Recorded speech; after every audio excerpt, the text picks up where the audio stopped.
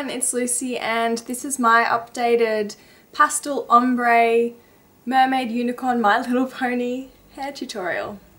So um, you will see how I go from having you know no makeup, dirty hair, washing my hair, dyeing it, rinsing it out and then this is just probably like 90% dry. Uh, so it was pretty faded beforehand and now it's just like a little bit more vibrant. I didn't do it crazy crazy bright like I usually do because it's spring now in Australia so I just wanted to sort of keep it fresh but not really really dark and bright. If you'd like to see how I get this pastel ombre hair look then keep watching. Um, I will just show you what it looks like. I'll just do a little rotation so you can see what it looks like before. First I'll show you what I use. The first thing that you will need is two of these uh, you know, what are these things called? These hair dye mixing bowls and mixing brushes like this. And I just got mine from Price Attack or Priceline. And they're good because they have a handle so you can pick them up really easily. The second thing you're going to need is two hair clips um, and a towel, which I don't have. I'm going to have to go and get one. So use like an old towel um, just to wrap around you and I clip it up. And sometimes, like when I used to have bleach all the way from the top, I would section my hair with the clips as I went, but seeing as though it's just on the ends, it's pretty easy. Hopefully as my hair grows longer and longer, it'll be so easy. I'll just like divide my hair in half and dye it here and dye it here. But anyway, it's still not that easy. I do have to kind of work out what I'm doing all over, but yes, one or two of these hair clips.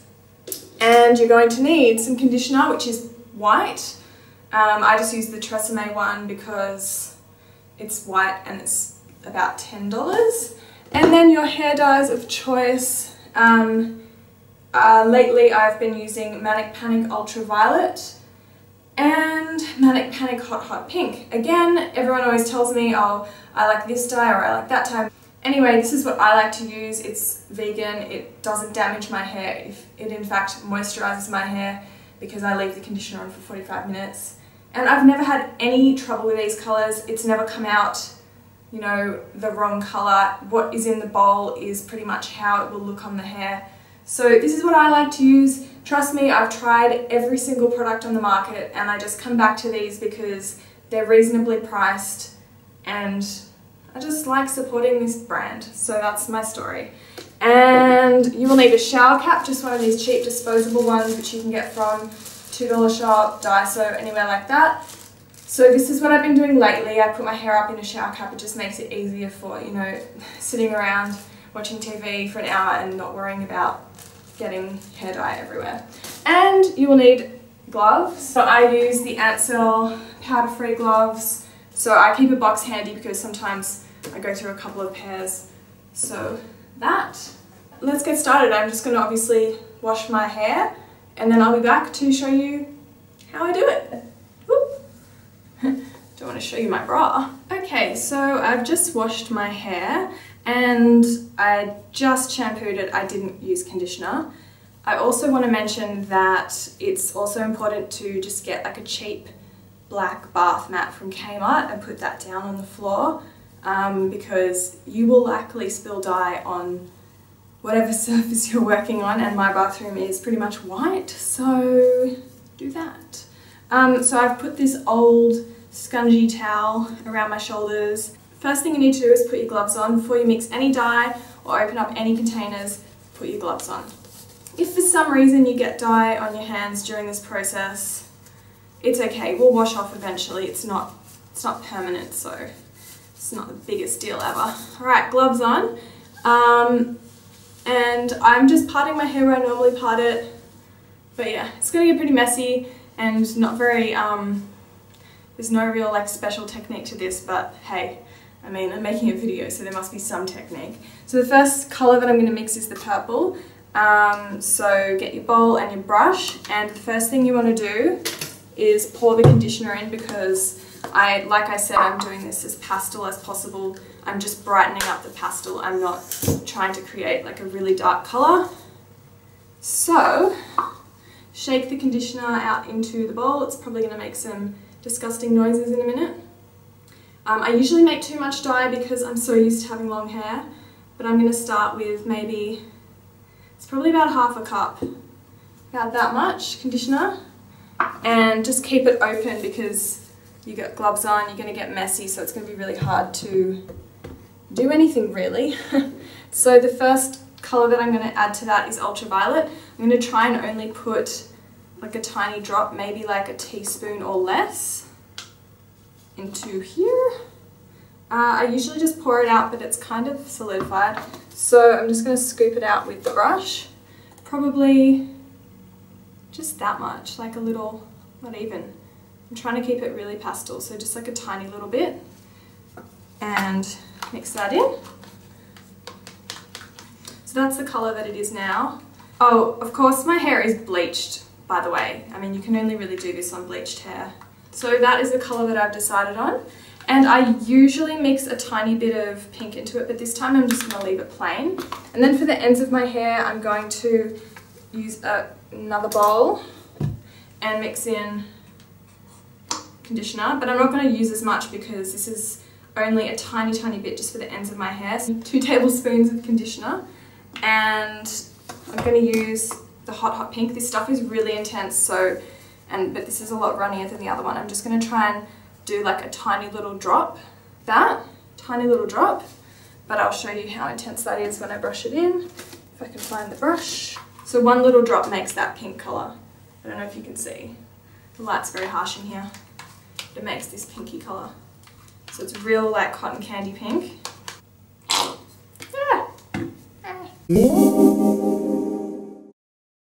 I'm actually going to start with the ends and I'm just going to make sure that I've got pink on all the ends because once I put the purple on it's going to kind of disappear. So just scoop up, like I've literally just grabbed like half my hair in my hand like that and this is why you need gloves and I'm just going to paint it on to the ends like that. I'm just looking in the mirror, not at the camera guys. So you're painting it on like that, and then flip it over if you can, and chuck on a bit more, like that, and mush it together. So this is just to kind of like make sure that the ends are pink, and obviously it's going to get mixed in, but just try and make sure that the first colour that touches the ends is pink. So I can tell that this is a very subtle pink compared to what I usually do. And then the other side.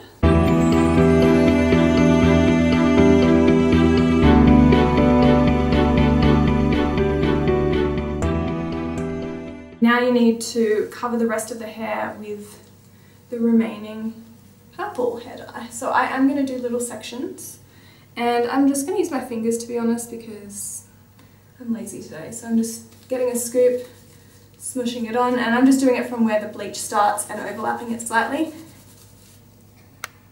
And I'm just kind of massaging it in, and when it gets to the pink, I'm just kind of dragging it down and blending it.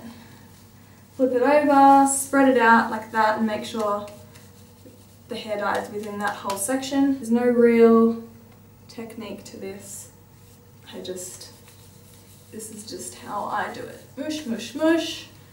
Flip it over, because quite often you forget to flip it over and check the other side and just really like smush it in with your fingers and make sure it's all in there.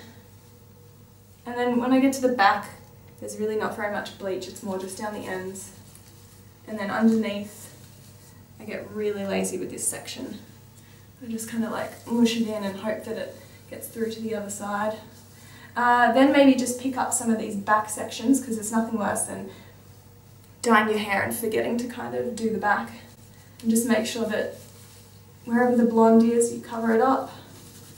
And seriously, this used to be so much harder when my hair was fully bleached because I can kind of get away with having patchiness now, but when your hair is all one colour and you miss a bit, it's so obvious.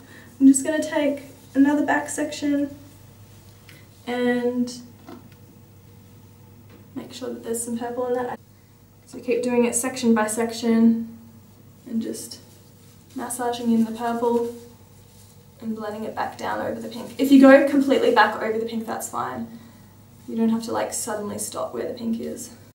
And it's okay to put this hair dye over like unbleached hair, it won't really do anything um, unless you've got like natural highlights it might pick up a little bit but not much and when this washes out your hair will be so silky from the conditioner it won't matter that you're putting this on unbrushed hair.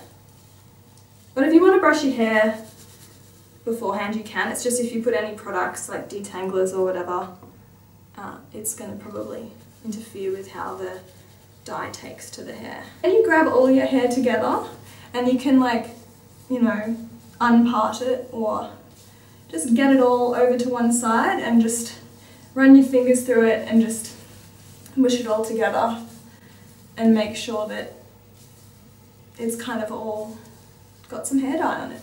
And then I grab this section that's mainly purple and just kind of do that all the way down. And then I grab a little bit more pink and just put it back on the ends like this. Flip it over like that and just massage it in and then grab a bit more purple and just chuck it here and that's that's how you do the ombre that's how you do the ombre you get it up into a shower cap and wait 45 minutes to an hour so next thing I take my gloves off so try and pull your glove off like that and then grab the glove like that and then pull the other glove off like that so one glove is inside the other glove. Hee.